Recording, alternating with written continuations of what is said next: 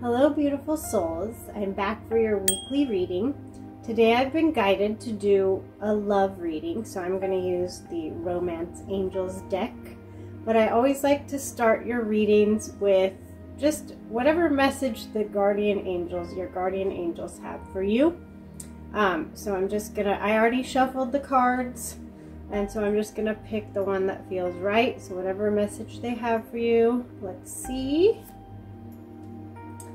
Inner child. Nurture your inner, inner child and begin to express the awesome beauty you hold within you. We live in a world where a formula exists for everything. Yet love and creativity have no formula.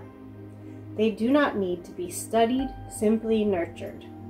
Regularly set aside some time to just play. So yes, it is very important to nurture your inner child and they want you to have fun as well. So I'm gonna pull from the Romance Angels deck. I just wanna see, this will be for people who are in a connection or in separation with their person. So I just wanna see what my guides have to tell you at this time. Your guides, my guides, please give us clear guidance.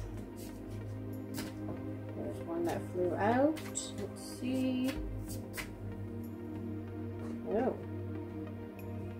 There is many of you are going to be getting engaged soon or this can also mean that if you're in a connection um, or if you maybe you've just started dating someone usually it means it's the relationship's going to go to a higher level so maybe more of a commitment.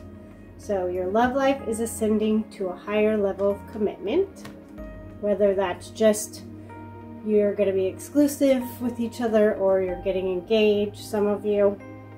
And it also says, the one that flew out, says, let your friends help you.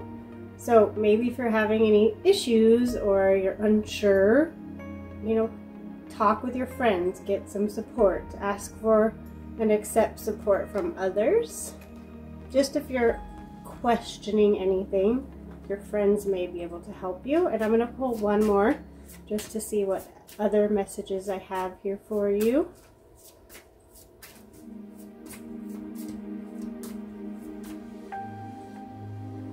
And you definitely, in order for this to happen for you, you need to release your ex. So if you, that doesn't necessarily mean that you're still entertaining them or in a relationship with them, but sometimes we still hold on to ties to our exes and past pain, so you need to let that go, release that so you can enjoy this this new, you know, part in your current relationship.